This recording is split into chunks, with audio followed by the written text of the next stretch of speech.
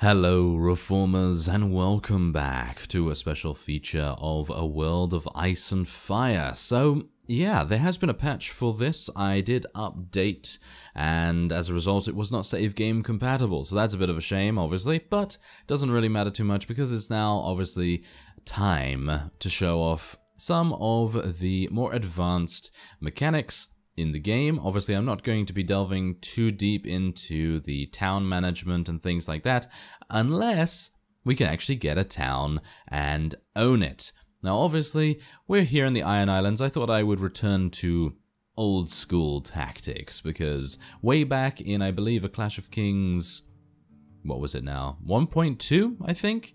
A Clash of Kings 1.2 or 2.1 or I don't even know, something like that. I started a faction in the Iron Islands, and it was amazing because many of the sieges here were so unique, so, so good that I thought, okay, we're going to do that with this mod as well. And we're going to see how it goes. Now, I've taken a look at the troop trees of the Iron Islands, and if we... Uh, I always forget that it's actually here and not in under reports. But yes, Let's just go and take a look at the Iron Islands real quick. As you can see here, their finger dancers are actually pretty decent, as well as their Ironborn Marauders. Their warriors are actually pretty nice too. Their Marauders are the ones that we kind of have to look out for, but their finger dancers are actually pretty harsh because they are thrown weapon specialists, and as we know, thrown weapon specialists are kind of my bane. So, as you see here, this guy actually has 37 Ironborn Marauders. That is a lot of high tier units. But I've done a little bit of, you know, a little bit of leveling up myself. Just ignore Elias's stats right now. He went into an alternate dimension, gained a lifetime of experience, and basically came back to our planet and was like, Behold, mortals, I have returned. And, and there he is. And he said, I see, as well because obviously that's his thing. Anyway, as you can see here, we have a bunch of different units. One of these hardened... Uh, hardened? No. One of these Northern Horsemen actually did get knocked unconscious because we were fighting that poacher band. And that's the one that wanted to retrieve the Raven, if you recall, in the previous episode. And he got knocked unconscious, and these guys are, in my opinion, really, really bad. If you take a look at the troop tree here, they do become Northern Cavalry, of course, and Northern Cavalry are, in my opinion, very good. I, I, oh, you can't actually even click on these. Well, that's a that's a bit unfortunate. Okay, so let's just go here real quick. Yes, we're going to get to the fighting very, very soon. Just wait. Now, yes, as you see here, the horsemen only start with a sword. They only start with a sword. They don't really have very good uh, anything. I mean, their proficiencies are okay. I mean, one-handed is the only thing that they need to worry about, really. Their hit points are okay as well. But let's just take a look at his inventory. Nope, he does not come with a shield. He does not come with a shield. So that's the main reason why the Northern Cavalry are better in every single respect because they do come with a shield. If, you know, the horsemen came with a shield, then I'd be like, oh yeah, it's absolutely fine to have an army of those. But as it stands, I've had to level these guys up because we need the shields. So anyway, let's go in and fight this guy. He actually did give me a pretty nice greeting, and I'm sure he's he's not very nice. He's not very he's he's not very nice. No, he is actually very nice, but he is not going to like us very very soon. So I'm here to deliver you my demands. Uh, okay, so here we go. Yes, so we lose some reputation, and we now are at war against them. And we're going to be trying our best. Let's take a look at the commander's options real quick. Ah, impassion your men with a rousing speech. Call your enemy forward for a duel of honor. There seems to be no one willing to duel. What about impassion your men? Yes, good speech. Good speech, and we gain two morale from that, yes. So that's rather amusing. Anyway, we can now head in and see what kind of battle we have for us. Oh yes, it's also giving me that tutorial again because I've technically not actually been in a battle yet because I auto-resolved the poacher battle, so there is that. Also, it seems like, as you can see down in the bottom right there, there is a percentage associated with your shield durability. And I personally feel like that is, even though that's a minor thing, you you would think that most mods would have that, but no, no, most mods do not have that, and it is extremely, extremely useful. So, let's see what I can do here. Okay, so advanced formations, uh, yes, Yes, thank you. Okay, we're gonna go for wedge, I think. Yeah, I've got to got to kind of bend down because my microphone is in the way, so I have to sort of crane my neck a little bit to see what's going on with the F keys because I don't want to mistakenly do something that is going to either minimize the game or something terrible like that. Yeah, it's happened before. It has happened before, yes. Don't worry about that. Okay, so shield wall, I believe, is going to be good for our infantry here. Gonna get those in the front. And we're gonna use a couple of tactics. Oh yes, tactics. Can you believe it? Oh, strategy and all kinds of things. Is an archer division and cannot form ranks. You can't form ranks as an archer division? What? I was able to do that before. Oh, well, that's a bit strange. Okay, so spearmen. Oh, yeah, we also have spearmen here as well, so I suppose I should just use the spearmen in ranks instead. There we go. And we're gonna just give them, you know, a little bit of extra space between them and the archers. Oh yeah, I should probably also mention that these archers are Night's Watch units. Yeah, so if you are a big fan of the Night's Watch from the show or the books or whatever, then it is probably highly advisable for you to get some of these. They are elite rangers, and let me just say, their stats are insane. I mean, we can take a look at those stats after this, but obviously we're just kind of getting ready to attack, and how many? Oh, okay, so we have 135 on the fields of battle, and he has 135. As far as I'm aware, the Ironborn, or shall we say the Iron Islands vassals, do not have archers, as far as I'm aware. I think they primarily have only thrown weapons. So I think I can probably move my infantry forward, and we can then see if they decide to... Yep, no, they mostly have thrown weapons, as you can see here. Yes, oh, very nice, thank you. Yes, I'm not particularly happy about that. They do have quite a few pole arms as well, which is not very nice. Okay, so I'm going to tell my spearmen, because I'm not particularly... I don't really care about our spearmen that much. I know, that seems rather callous, but I kind of recruited them by mistake, and they don't really have the best stats or anything like that. So what I'm trying to do is just kind of get around here. I'm going to tell our infantry to charge in as well. It seems like there's an animation when you do the charge thing, which I'm not particularly happy about. I'm going to tell our archers to charge in as well because uh, it, we kind of need to, you know. I think I'm actually going to disable that. Yes. I think I'm going to disable that as soon as I can because it seems like it's absolutely pointless. Ooh, critical. Look at that critical damage. Yeah. So you should also know that Elias, apart from having 10 in every single skill with the exception of trade, apart from that, he is an absolutely combat genius, although I'm not. So, yeah, he's probably, I don't know. I don't know whether we're going to die or anything like that, but yeah, just, just bear in mind that I'm not very good in terms of my own skill, but Elias is absolutely insane. He's only level 4, by the way, so that's the reason why he went into that alternate dimension. You could say that he was abducted by aliens or something, and they gave him a huge amount of knowledge and all sorts of, all manner of things, but yes, whatever you want to say, he has returned, and he is ready to form House Mormont once again. And we are going to obviously be the Reaper of Crow's Nest if we can. Obviously, that's quite far away from here right now, and I'm quite a bit worried about how many units actually are using thrown weapons right here. But, well, what can you do? Yeah, so, oh yeah, also this mace. I found this mace, and I was like, oh, this is a very nice mace, because, as we all know, blunt weapons, you know, they're very good against heavy armor and everything, and personally, I don't think they're actually bad against any armor type. I think they're actually really, really good against everything, almost. And, I mean, that's the thing. It doesn't really matter whether a blunt weapon, in my opinion, does a little bit less damage to, say, cloth armor or mail armor or anything like that, because in general, it's going to be dealing super amounts of damage anyway, so even if it does, let's say it just does 70 instead of 270. 70 is still an amazing amount of damage, so it doesn't really matter either way. As you can see, we're dealing so much damage.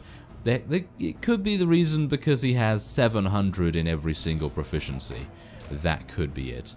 And also the fact that he has a lot in strength and a lot in power strike as well. But yes, let's not get into that. The main reason why I did that is, of course, because we must be able to survive our upcoming siege here. And hilarious enough that we only lost three units. I'm actually really surprised about that. Seems like our surgery skill is actually doing a pretty reasonable job of things because usually surgery doesn't actually help me that much in other mods. So it seems like maybe we have a little bit of a, a change perhaps. Maybe it's maybe it's given us a little bit more. Okay, so let's bury the dead and you know do all of that stuff and we're gaining a helmet here as you can see I've actually bought some pretty decent gear as well just to show you what is out there now, I actually had to travel to Volantis to find this particular torso armor, and it's a little bit weird because I'm not entirely sure why Volantis would have this kind of armor when, for example, the Weeping Town does not have that kind of armor. It's very, very strange. Also, the helm was quite difficult to find too. The gloves, I don't, I don't even, don't even tell me. And also arch, uh, archers, no, arrows. Arrows are also very, very, difficult to find in this mod. I'm not entirely sure why, but they are. So there you go. All right, so we are now ready to tackle the Ten Towers, and we're probably going to. Uh, shall we just? Okay, so I think I'm probably what I'm going to do is I'm, I'm just going to show you the stats actually of the Night's Watch because they are amazing. And I actually remembered to do it this time. But yes, as you can see, look at this. 30 agility, 24 strength, all of these proficiencies at 270. They don't really have that much power draw, but it doesn't really matter, I don't think, because they're just amazing. They're really, really good. And then I should mention also the Vale Knight of the Gate. Yeah, this I don't believe is actually on the troop tree. If you actually take a look at the... Uh, Okay, let me uh, let me just go to the actual troop tree. I don't think it is actually on the troop. Oh, no, it is. Oh, okay, never mind. I thought it was like, like a, a secret lordly unit that you didn't actually have access to until you fully upgraded one of the other knights or something like that. But no, no, I was a little bit incorrect there. Anyway, what we're going to do is going to wait here for some time. Maybe the enemies are going to come to us, but it doesn't really matter because we are going to besiege it. Plan your siege. Okay, so here we go very classic in terms of the Brytenwalda style of doing sieges and things. So order the construction of sanitation. It's going to take two hours because obviously we have an engineering skill of an absolutely insane amount. So it's only going to take a little bit of time. Obviously this is just to expedite the fact that I want to get this done as quickly as possible. Uh, what else shall we do? Build defenses, infiltrate and attempt to investigate. No, I don't really see the necessity for that. Loot and destroy crops and farms nearby. No, I don't really see the necessity for that either. Build defenses. It's going to take 20 hours Prevents enemy skirmishes. Okay, well, why not? Let's try it. 20 hours. I don't know how long it's going to take, actually, for us to even be able to launch an attack. So 20 hours is not that much. Maybe the vassals are going to turn up. If they do decide to turn up, then obviously we'll deal with them however we see fit. But as it stands, there you go. Some men have died of cold flu and other illnesses. No. No, they haven't. They haven't. Thank you very much. There's no casualties there. Okay, so have we done that? I think we may have done that. Okay, make preparations. So, let's see.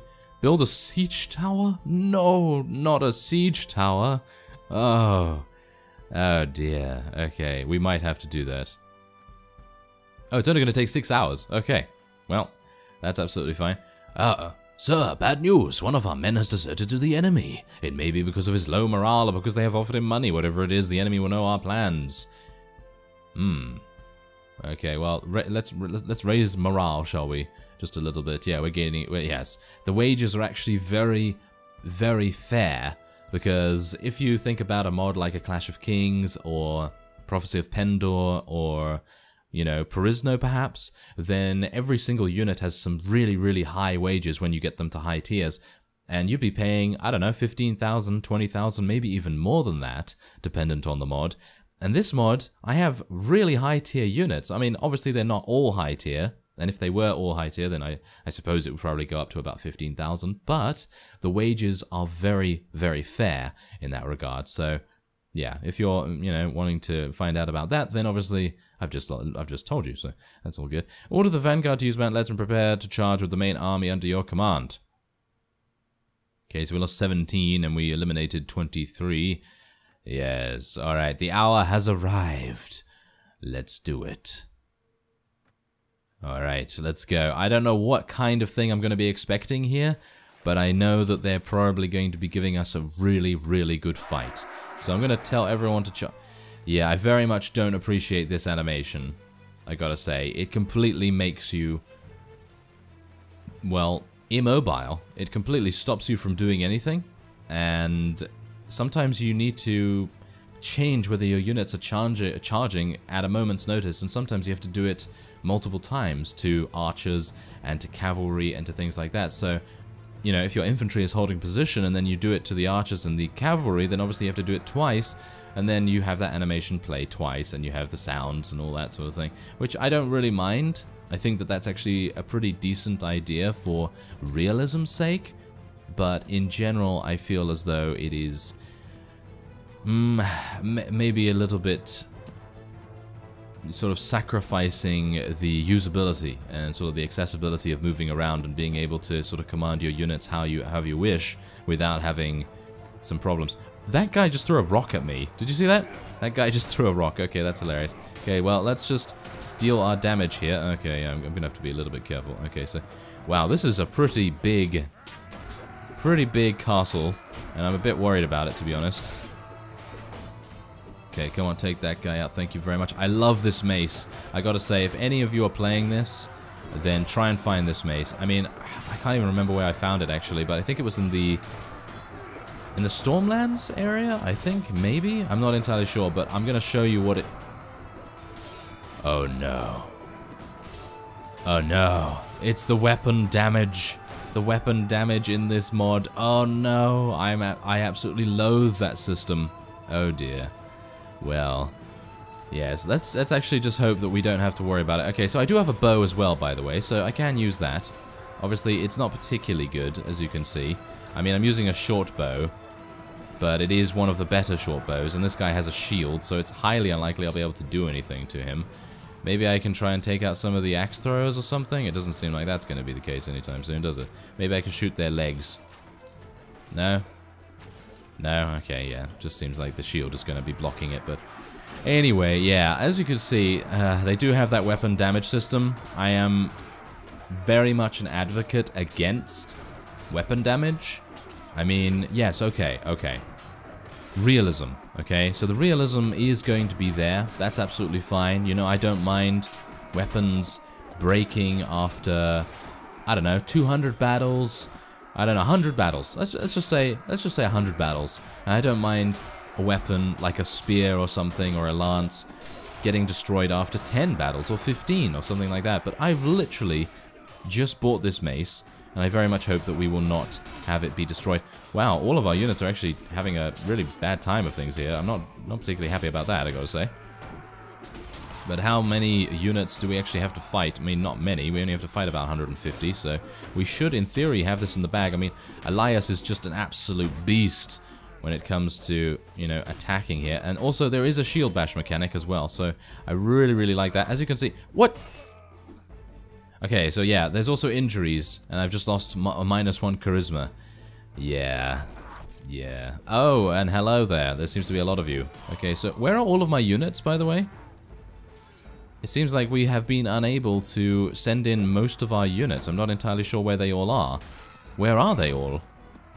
That is very strange. Okay, I, I guess we're just going to have to retreat. There's not much more we can do. I mean, there's...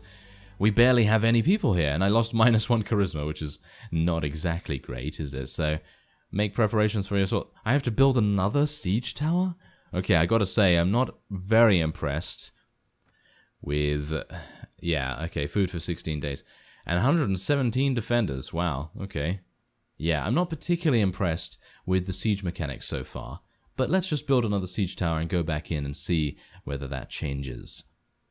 Alright, so I think it is about time that we explore some more of our options here, and that's the thing, this is the kind of the reason why I'm not a big fan of the Brytenwalda style of doing things, and primarily also the reason why I was not a big fan of Viking Conquest. Now, initially, I think that Viking Conquest, or at least I thought, was a really, really nice addition to Warband, but because it obviously married, you know, sort of Viking style lore and all that sort of thing, with the Brytenwalda siege mechanics and, you know, the wound system and the stamina and all that sort of thing, and I think you've actually noticed that I've turned that off by now, but there's still the wound system, and you have to obviously go to a healer and have all of that, you know, done and, and wrapped up and completed and all that sort of thing. So basically what we're going to be doing now is we're going to try and find a traitor within the castle's defenses, and I don't actually know what this is going to do, because I don't think I've ever done this. But we're going to see, actually. I think it might be quite nice. Right, okay, so we lost one. yeah, we lost one. That's absolutely fine. No problem at all. But yeah, this is the main reason why I'm not a big fan of the Brytenwalda style of doing things. And the reason for that? Yeah, you know why. It's because when you're doing a siege like this, in general, it is just so much more effective to just wait for those 20 or so days until they run out of food. Because as you've seen, if I go in and actually, you know, assault it, then obviously I'm going in with a vanguard. Vanguard is a small force, and I'm not going in with my entire army, which in theory should have been the way it went. But anyway, ah, without news, no one is willing to turn coat. Oh, okay. Infiltrate the castle's defenses. Alright, so let's do that. Let's try and infiltrate the castle's defenses and do some damage. Now, what's amusing about this as well is that every single time you do this, you have a very high chance, if the AI was actually willing to attack me, but the point is, is that if you were trying to, let's say, create your own faction, and like we're trying to do here, and you had a much smaller army than we do now, then in theory, you would be attacked almost constantly. And obviously, because, you know, the only reason we're not actually having too many casualties, with the exception of, you know, obviously just luck, I suppose, is because we have, you know, a pretty reasonable amount of skills. I mean, as you've seen, we have 10 in basically everything that matters. So anyway, quickly, I want to send a detachment of men to reinforce the walls while I make a threat of assault, hopefully forcing them to withdraw. Okay, did that work? Yep, it kind of did. Okay, so we must begin to build more defenses. Okay, so apparently we're building more defenses right now. But yeah, as you could see, we're actually, I hope, dealing some damage to the enemy. And as you can see, uh, uh, there you go. So we actually, okay, okay. So I see what they're trying to do here, and that's all very well and good. Obviously, I played Brytenwalda a very, very long time ago, and perhaps some of the you know, mechanics surrounding sieges has been refined somewhat. Because at the time, I was really not very much appreciating it, because you know, wound system, the bleeding system, and in general having all of these options and not really any way to. Oh, I have to build defenses apparently again. Well, that's not very nice. But yeah, as you can see, 10 more days. And if I want to, I can loot and destroy crops and farms nearby, which is obviously, what that's going to do is reduce food even further, I think. I'm actually unsure about that, but let's just see whether that is actually the case. Because it seems like the way that the game wants, or, or shall we say, in this in this respect, the mod wants you to play is, as you can see, to have a, a, a war of attrition. Basically, that's what they want you to do. Shall we call for a meeting with the castle commander? Yeah, there you go.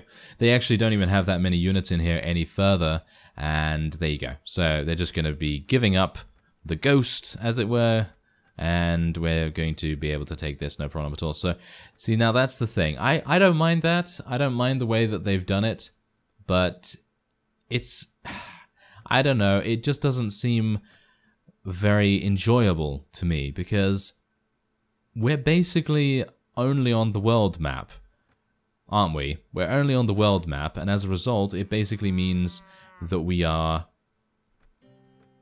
well, we're playing a, basically a strategy game, you know, and yes, yes, okay, and Blade is kind of a strategy game, but in my opinion, it's much more of an RPG slash combat slash simulation kind of game rather than a strategy game. Yes, okay, there are strategy elements, but in general, I feel like the strategy elements are quite minor in comparison. So what this is doing is it is, in my opinion, making it so that we have much more of a, shall we say, you know, strategy focus. And, and yeah, that's absolutely fine.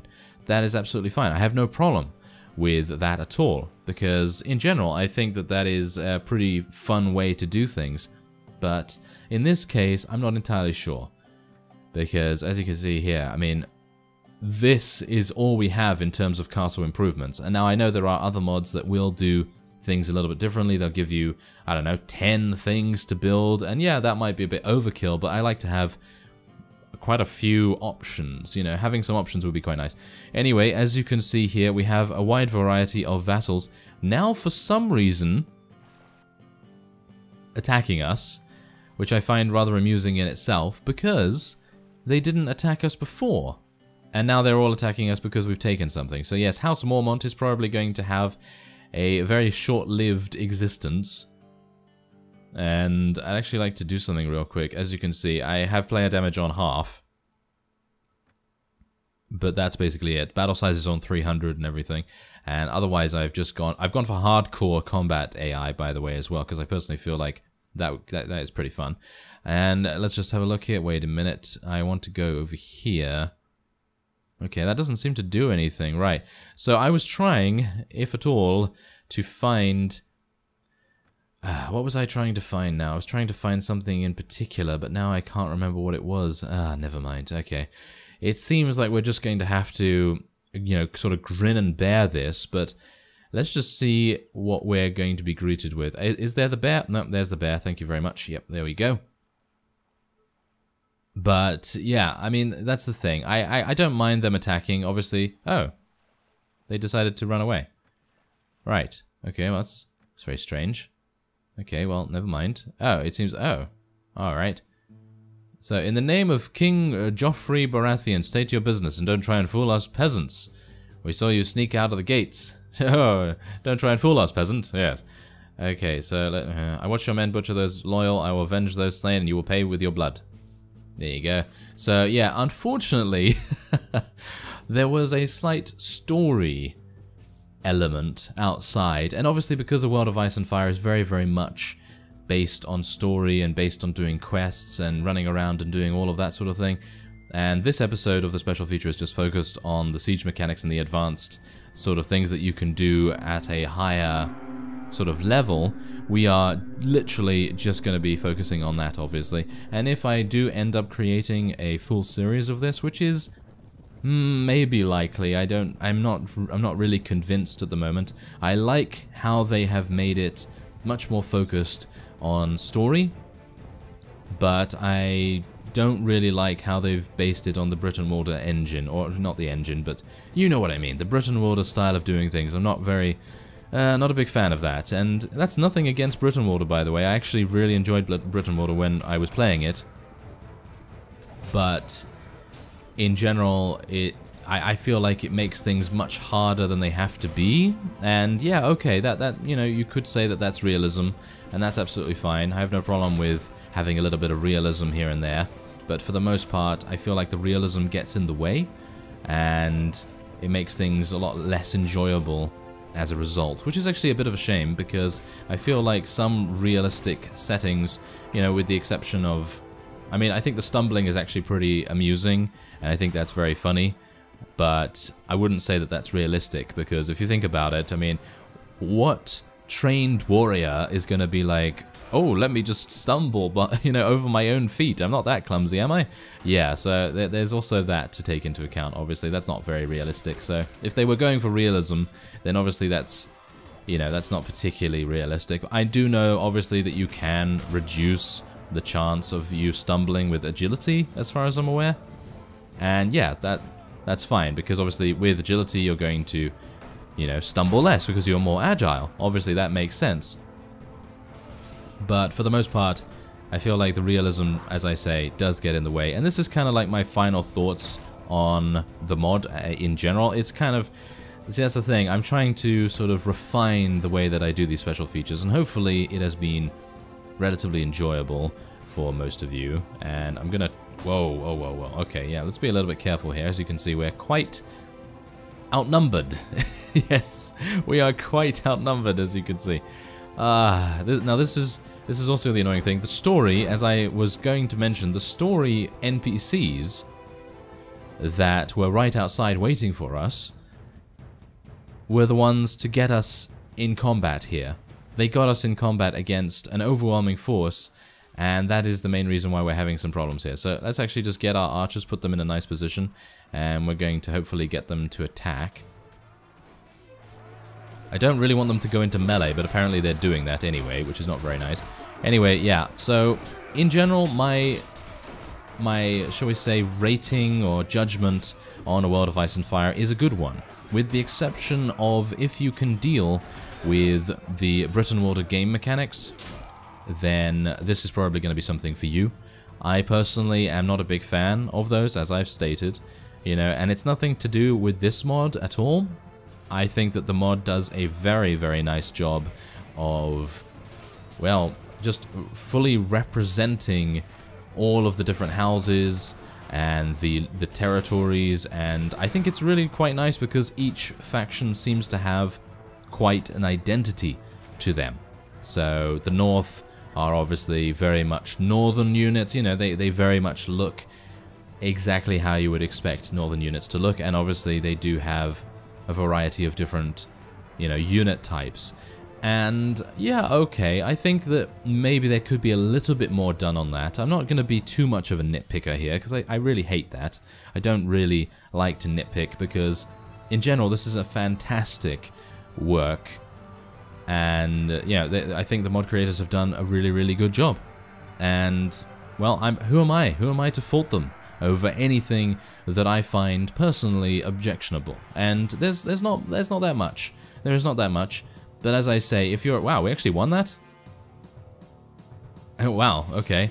That was... That was impressive. Alright, but yes. Anyway, as I say, the siege mechanics I actually don't really have too much of a problem with now that I've actually figured out what's going on with them, because it seems like you have to do a variety of different options. You know those options that you get, you know, like send a spy in, you know, go behind enemy lines, do some damage, and so on and so forth. And if you have pretty decent units, don't know how much it really affects the outcome. I don't know whether it matters whether you have peasants or whether you have the, the highest tier unit, because obviously it's basically auto-resolving, so again, not entirely sure on that. But I think the main thing that I'm just a bit sad about is that I can't really do too much in the way of me going in there. You know, I can't really go like, oh yeah, let, us just charge straight on in there and have some fun, you know, hitting people over the head with my mace and things like that. Yes, I can do that, but is it the most effective way of doing a siege? So, yeah, there's there's that. So, if you're not a big fan of, you know, maybe kind of like a Total War style. It's kind of it's it's not really Total War style, but it kind of is because it's more focused on being on the world map than it is actually going into actual fights. Even though in Total War you do technically go into instances of battle and things like that. I'm not knocking Total War there. I'm just trying to say that it's much more of a strategy element than anything else. And then obviously you do have the wounds, so if you have a problem with the wounding systems, and over then obviously you're not really going to have a fun time there. But other than that, I think that the addition of the scripted events, the story, I think that is very strong. That is a very strong element. And if you are fully engrossed in either the books by George R. R. Martin or the TV show, of course, Game of Thrones, if you're engrossed in either of those things, then this mod is obviously 100% recommended because how can you, you know, how can you not want to experience the world as all of your favorite characters see it?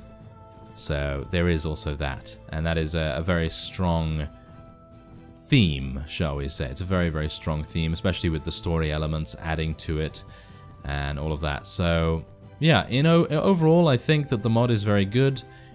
There are just slight nitpicking things that I don't really, you know, I don't really appreciate. And obviously the wound system is probably the biggest bugbear that I have because I literally got hit in the face and I lost minus one charisma for that. I think that's a, a way, way too harsh penalty for just getting hit once. And I'm sure most of you will actually agree about that. I think I actually heard some of you, you know, saying things about the, you know, the uh, the wound system, so there is that. And now, yeah, also the charge, the, the charge animation, which I have still failed to disable. Really needed to, do, yeah, really needed to do that. Anyway, it seems like we are going to be absolutely fine here. I guess it's literally just because I have some amazing units in the forms of the Stormlands House Guards, as well as the Vale Riders, and obviously Knights too. And yeah, I, I guess if I wanted to say something else, then I suppose some of the other factions, like for example the Iron Islands, they have some, in my opinion, really, really cool, unique units, because obviously they don't seem to have any cavalry, they don't seem to have any cavalry, and they don't have any ranged units in terms of using crossbows or archer, archer units, and that's really nice to me, because I like factions to have a unique feel to them, you know, so if you were to reference, for example, let's go, let's go all the way back and reference Native, for example. So if you reference native and you say, ah, oh, so which faction do you like for crossbows? Well, that's, that's obvious, isn't it? That's obvious. The Rhodoks. The Rhodoks are the best for crossbows, with obviously Swadians coming in a sort of close second. Not really a close second, because the Rhodoks are actually extremely good with their crossbows. But anyway, point is, I feel like it could use, obviously, a bit more identity, but there are so many factions in the game and well in the mods technically that you can't really you can't really fault them for that because there are so many and there are so many unique items. I mean, look at this. All of these items have been fashioned from scratch or, you know, from some other mod that they have, you know, taken assets from and things like that. There's also a horn here. You know, there's a horn and it improves leadership and tactics skills and also increases party morale. I mean, I've never seen that before in any other mod, so it's really, really nice to have those small details. Also, I do find that the siege maps are very well detailed. They're very, very well detailed and very cool looking. And of course, they make things very, very difficult for the offensive force. And Pyke is very, very difficult. No doubt. No doubt that is very difficult. So I think what we're probably going to do, uh, I challenge him to a duel. Sure, there you go. We gain some, gain some reputation. Har this harbor is too small and cannot transport a marshal and his whole army. Okay. Right. Okay, so... What? That is... Okay, so that, that might be a bit of a bugbear for me as well. Let's actually just see here real quick. I'm going to... Put in some archers here. Okay, and now let's see if 183 is enough. Aha! Uh -huh. Oh, no, oh, you no, no, that, that, okay. Alright, so... That's a bit of a problem. I'm not entirely sure... Okay, so what happened was, okay, way back when I, you know, first started this episode, I came across by going to Hagsmire Harbour, and I came across with 283, 284 units. And it was no problem then, but apparently I now am unable to do that. And I have no way to get off this island unless I remove all of my units, or most of my units from the from the army. So, oh, okay, that might have thrown a bit of a, you know, bit of a spanner in the works there. That's a bit that's a bit weird, isn't it? That is a bit weird. Maybe I need a boat. I do know that I, I do actually have a number of boats that I purchased, but I didn't see the necessity to use them really, so maybe that would make a difference. Maybe, yeah, maybe bringing a boat along here and just, you know, sort of mooring it along the side here would make it make sense and then you'd be able to obviously participate in naval battles as well. So I hope that this has been a little bit informative, whether you want to download the mod or not. Obviously, I I'm pretty sure that if you're already into Game of Thrones, you've probably already played this, or you've seen the first episode and you were just like, oh yes, I must have this. So if this has convinced you otherwise, or has convinced you to download it, then that's great. And maybe maybe some of you will also see my point of view with some of these, you know, some of the points that I've made. But anyway, I think that will be it for this series of special features for A World of Ice and Fire, and I am on the latest version, as I said, which is version 1.02, I believe. Anyway, the download link is in the description, so if you waited, you know, if you watched this long, then I applaud you. So yes, I thank you very much for watching, and I will see you next time.